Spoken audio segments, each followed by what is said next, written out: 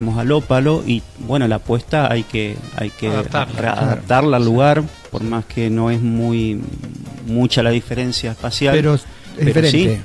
Eh, a mí hasta incluso con las luces porque los que son las paredes del otro teatro tienen una tonalidad que al reflejo de las luces aquí que es negro cambia y eso también hubo que adaptar Mm. y, y bueno todo eso es eh, se nota Sí. Ahora, la obra interpretada por Carlos Folias, bueno, Joaquín y Lupe Iníguez.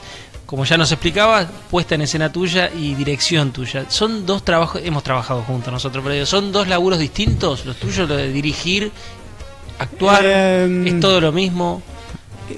Sí, es. eh, bueno, yo vengo desde la que nosotros hicimos, Años. el tríptico. Sí. eh, planteo un poco todo, toda esa cuestión de, de- de- de la diferencia y la no diferencia, porque es como que parece que son tareas totalmente distintas, pero cuando uno las, las va encarando, eh, ves que se van como van engarzando, ¿no?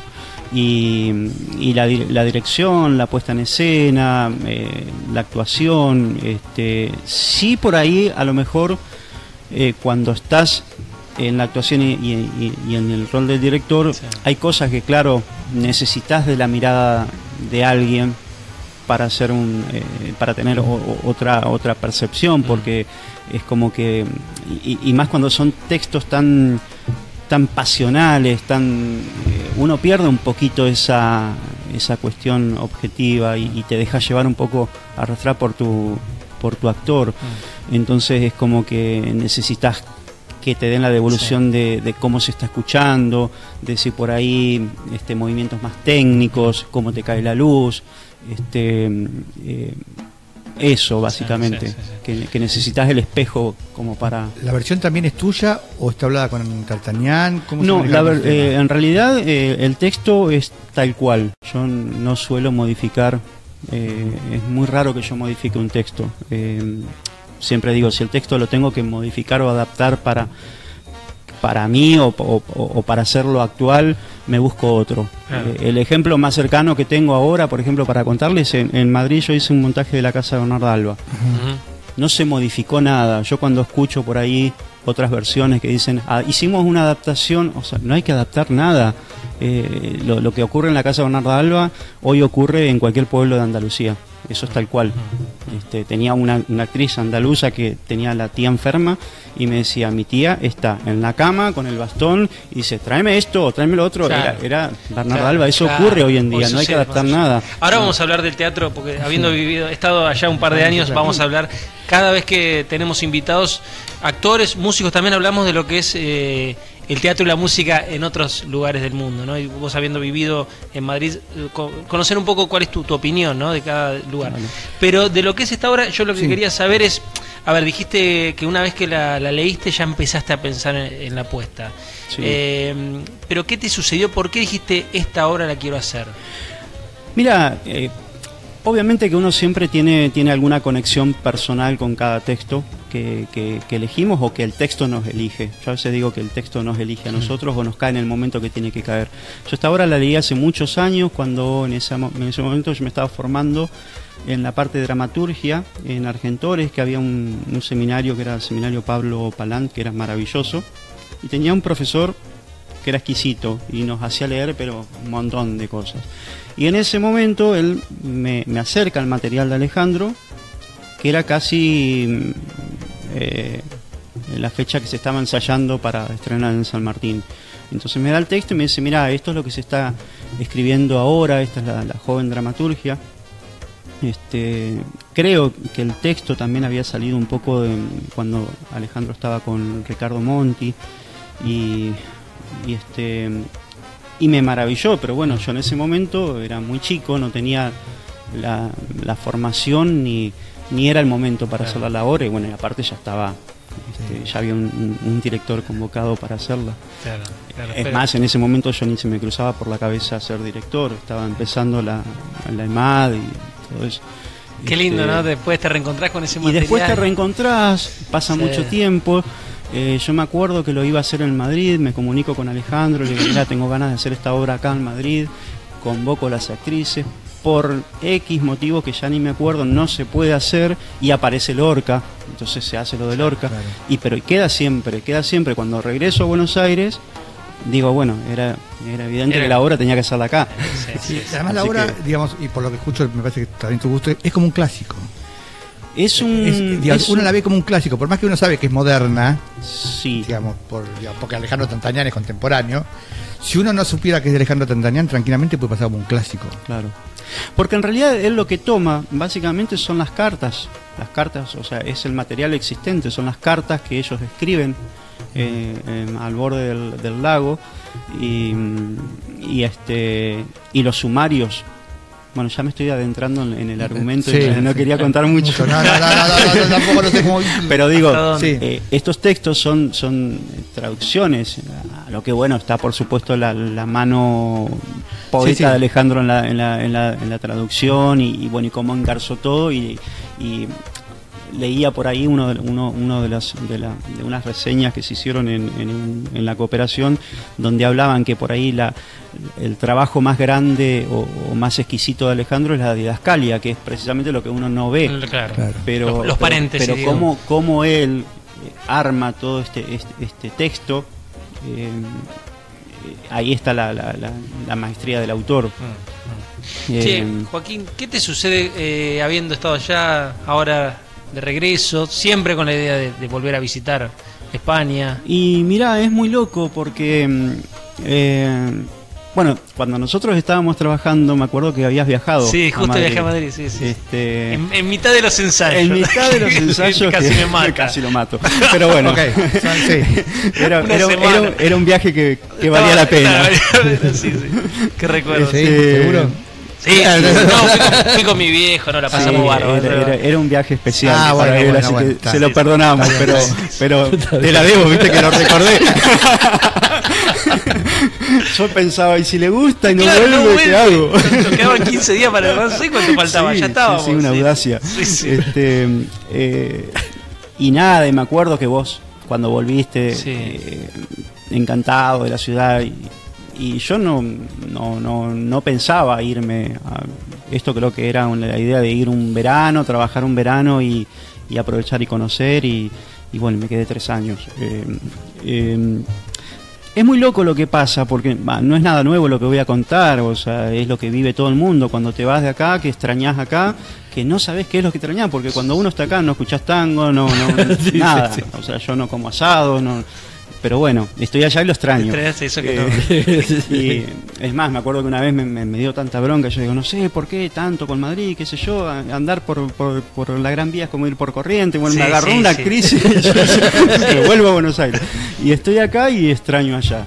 Eh, es como que eh, uno se crea como, bueno, yo desde soy de, de Entre Ríos, entonces ya me, Ya vine, desarraigo, me vine de- sí. después de terminar el secundario, entonces como que no tenés una raíz Sí. y, y eso a veces está bueno y a veces no está tan bueno, porque es como que no tenés un, un lugar de pertenencia por ahí.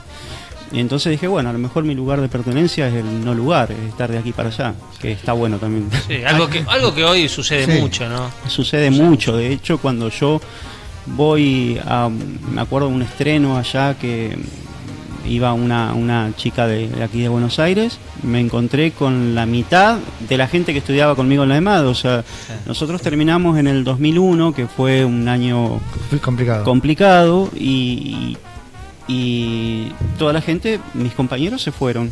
Tengo compañeras en, en Madrid, en, en Italia, este, por todos lados, algunos que quedaron acá, este, eh, y algunos que les ha ido muy bien. Claro, se Oscar Lajad, por ejemplo, de Tango Corrupto, iba conmigo y. Oscarcito ha hecho un trabajo increíble.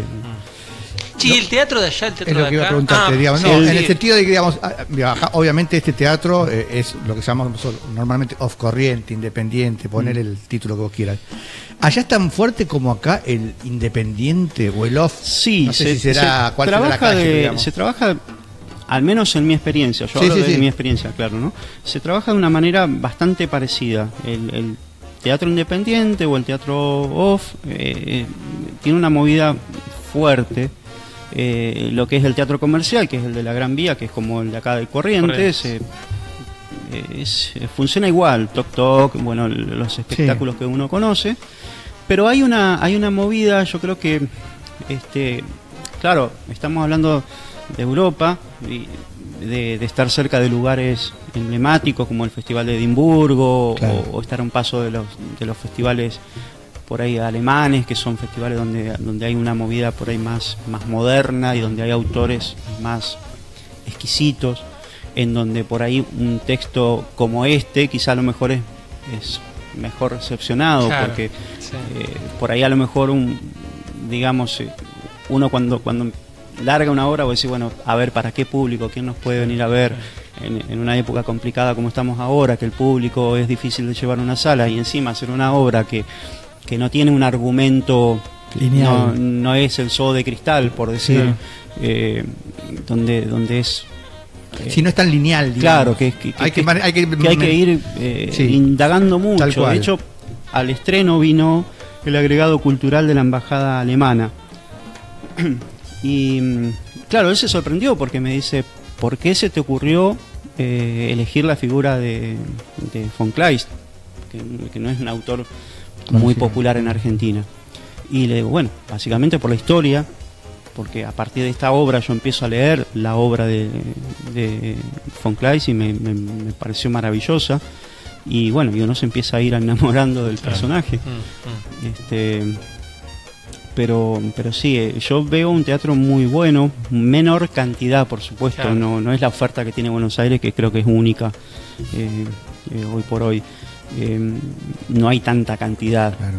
pero por ahí al, al- al haber menos eh, se, se, se- se agrupan, Claro. están empezando a surgir, eh, ya eh, eh, cuando yo había llegado ya, ya ocurría, pero ahora es como que hay más lugares chiquitos, de hecho me acuerdo uno que creo que ahora cerró, que era la, la casa de la portera, que era un lugar que era la casa de la portera, eh, de un edificio y la, y la ambientaron Sí, como nació Timbre Como- 4, eh, como nació exactamente. la de que no me acuerdo nunca el Entonces yo nombre. les contaba que esto acá se Acá- hacía desde hacía muchos años, Sí, sí.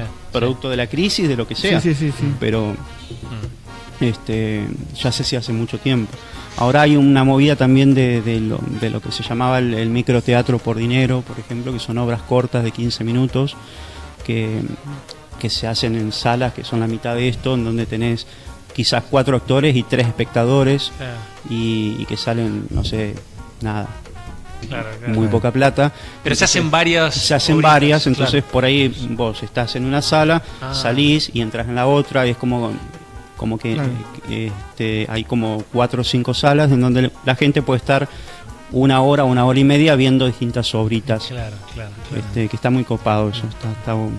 La obra es sumario de la muerte de Kleist eh, todos los viernes a las Todos los 21 viernes, horas en el 21 Ópalo. horas. Bien, en el Ópalo tenemos la dirección del Sí, Ópalo. señor, Junín 380, Junín Corrientes casi. Junín y Corrientes, muy bien. Eh, la verdad que vuelvo a repetir, una obra que digamos, eh, hay que ir a, no, no sé si a pensar, pero hay que ir a, a saborearla, a desmenuzarla. O sea, no, no es una obra lineal, como te decía, Sí. que vas y bueno, este es el principio, este es el final, este es el medio, ya está. Sí, sí. Hay que ir y estar atento a cada, a cada palabra, a cada desarrollo. Este, que digamos, eh, creo que es una de las cosas que más sabor le da a la obra, Claro, ¿no? Este, claro. realmente una gran obra, además con una actuación tanto de él como de Carlos Folie, de Lupe Íñiguez. Íñiguez. Ok, no de, de acá. Este, no, que realmente un trabajo maravilloso de los tres, digo, porque realmente eh, y muy físico, sobre todo el tuyo y el de ella. Físico en el sentido de que muy expuestos se los ve, ¿no? Eh, o, o por lo menos los que transfieren, como que están al consentimiento, a exposición continuamente, ¿no? Y, y eso se ve, lo cual no es poca cosa en el teatro de Bueno, hoy. Así que, muchas este, gracias. sí, totalmente recomendable este sumario de la muerte Muy bien, de muy Clay. bien. Kleist. Claro. Buena parte de clase. Joaquín, un placer que hayas venido. eh. Bueno, muchas gracias a ustedes por la invitación. No, al contrario. Qué lindo reencontrarnos, una buena excusa. Vamos a hacer en algún momento una comedia. ¿Se Hagamos. viene? Hagamos Sí, sí, seguro. Algo, estaría buenísimo.